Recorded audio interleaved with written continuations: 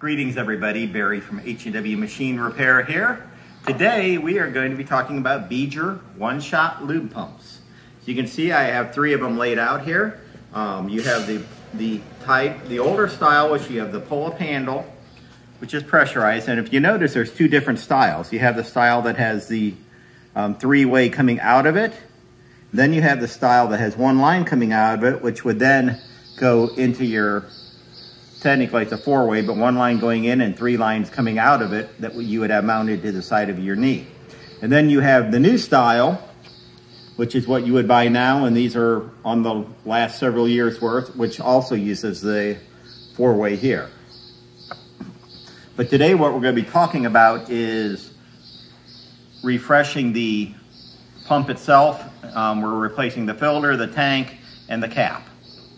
So let us get started. Uh, as you can see, this one's already done. This is one I did a while back. It's for demonstration purchases, or pur purposes, my apologies. So we're gonna start on this tank right here. The, these two are very similar with slight differences. So first thing you're gonna do is remove the tank, Phillips head, Phillips head screwdriver, four screws, now the new tank comes with a new, the new tank, four new screws, and a new um, gasket. Obviously, if you're tearing this old tank apart, I do not want you to reuse your oil. Um, dispose of it properly. All right, there we go. And so you can see this one's got all kinds of fun crap in the bottom of it. And this one isn't even one that I would consider a very dirty one. Um, if you happen to have the one with the metal tank, the plastic fits on it perfectly fine. So take that out, take our cap out. Next thing we're gonna do is we're gonna remove our filter. Find our spot here. Pop this thing out. Sometimes they come right out, sometimes they fight you.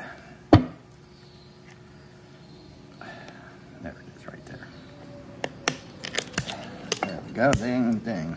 Okay, as you see, you have your little ring, your little, I don't I call it the sealing ring, and then here's your, this is kind of like the, lack of a better term, your snap ring. You have your felt washer. You have a very fine filter. And then you have a coarser one. At this point right now, what I do a lot of times is I would clean out my tank and I would fill it with solvent and I would give it a couple pumps, put a rag over the top of this, and just make sure everything is working properly and pumping out real good. Take it out, pump it a couple more times, get your lines empty. Now, the next step is to, all we're gonna do is put in a new filter after we've cleaned everything out, put it back together. But because I wanna show people how to tear one of these completely apart, we're gonna go ahead and tear it all the way down. So you see the line going here. Now sometimes, like in this one here, if you notice, that line is a copper line. This one's a plastic line. It They come both ways. So pop the line loose.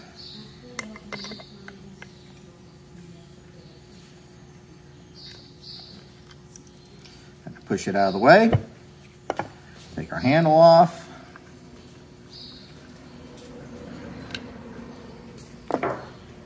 The nut off.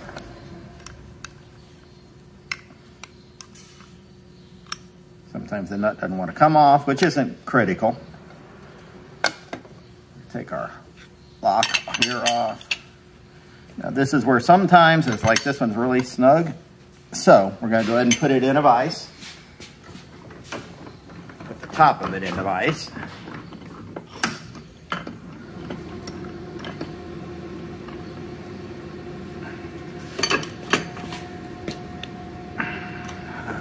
Thing's gonna catch. All right, well, we're gonna do it the other way then. We can use this kind of as our stop. Just don't wanna go super tight on this part of it. There we go. There we go. Now, this is spring loaded.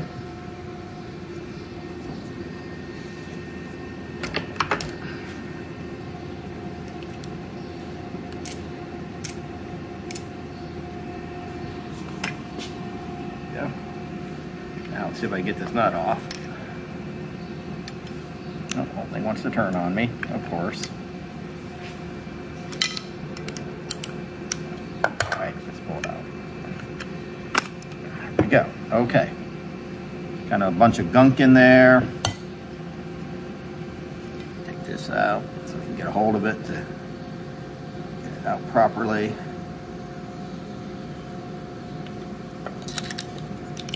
Normally this honestly does not come out, is not hard to get out, but we're going to be replacing this O-ring because that is the, what seals it. Now I'm gonna go ahead and put this in the vise, but if you notice, I'm going to put a rag in here because I do not want this thing in any way, shape, or form to get scarred. There we go. Again, this is spring loaded, so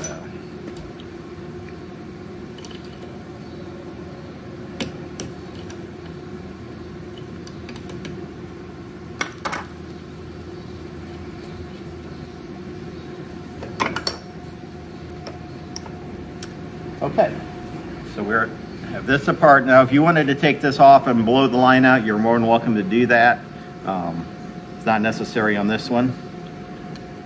You have your cap, your spring, your rod. You can kind of see how dirty and gooky all this is. You can unthread this if you want to. Generally, I just clean them out. Um, take it to a solvent tank and clean it all out. And that's really all that's necessary. I'm gonna get a couple of rags, clean this up a little bit. All right, everything's cleaned up. We're getting ready to go back together again.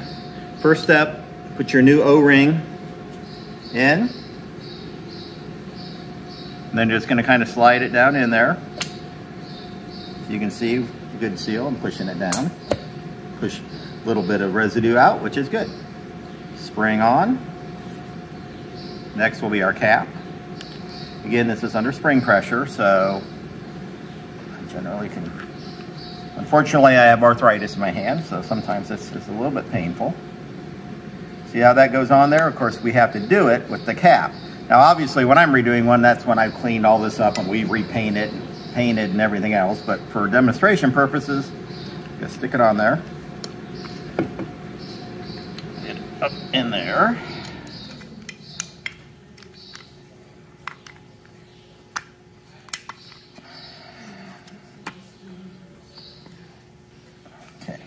Started. And then what you're gonna wanna make sure, if you see your position, you keep your position to where when you put this back in, it's in line with that. So let's get our wrench. And this one is a one inch. Um, most of them are one inch. There, I've run into a few that are a different size, so. All right, so you have the right position. Snug it up. There we go. Next step, we're going to reinstall our line.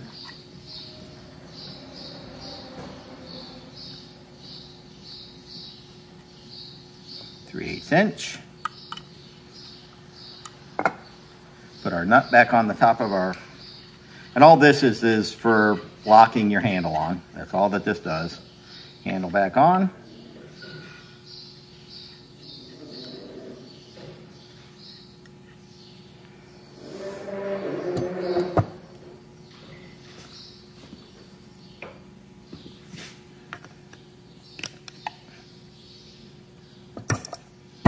Now we're ready to put in our new filter kit. Take your filter kit out, open it up, and if you recall how we did it the first time, it goes exactly in the opposite way. I have a habit of always laying it out so that I know exactly the direction everything goes. You put your big screen in first. Main reason I think this is much more sturdy than a fine one because, you know, in my mind, the fine one would go in last, but it's for giving you support. Your fine one, your felt.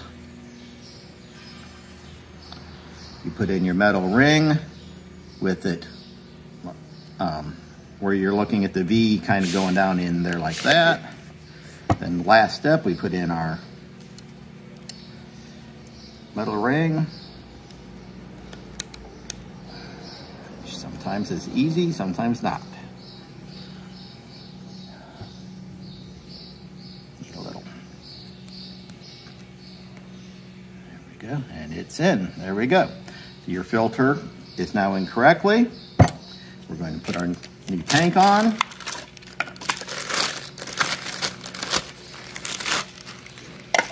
And as you see, it has the seal on it and new screws.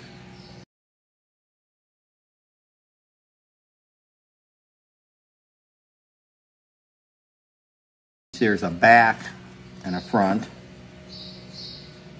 Obviously, everyone can see that, so let's it on there.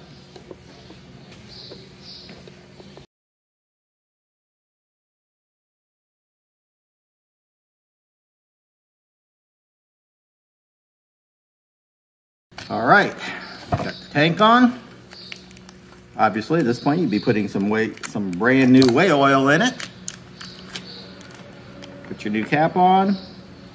And there we go. We've now refreshed the old style pull-up pump. Now, I'm not going to go the, through the whole process of the um, push down, but I are going to discuss a couple differences in it. As internally down here, all basically the same thing um, once you get the handle off. The handle, if you look in here, there's a small snap ring right here, which you pop it out, pull the handle out, off. I'll do it real quick. Just try not to lose the snap ring. It's kind of finicky. Mm.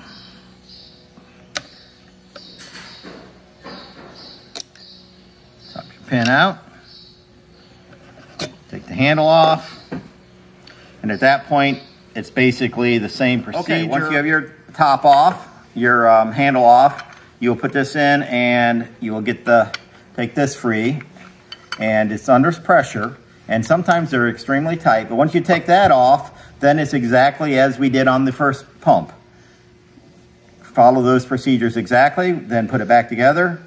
You know, obviously put your handle back in, get your pin back in, and then put it all back together. And that's how you do the modern version of the pump. Um, so that's how we do a, a complete a rebuild of a Bijur pump. Um, while you have it apart, you know, look at your cylinder rod and everything, but I've honestly never run into one that was all, that was so bad that it, the O-ring didn't fix it. So we have the kits. We have the first kit that I showed you that comes with the tank, the filter, the cap, and the O-ring. And then we also have another kit that if you're doing the entire system, it comes with the tank, the filter, the O-ring, the cap, all your meters, um, 20 feet of hose, and then the ferrules and bushings that you need if you just decide you're going to redo, replumb your entire system. So, um, thank you for watching our video today. I appreciate it. And please subscribe and hit the bell notification button. And you guys all have a great day.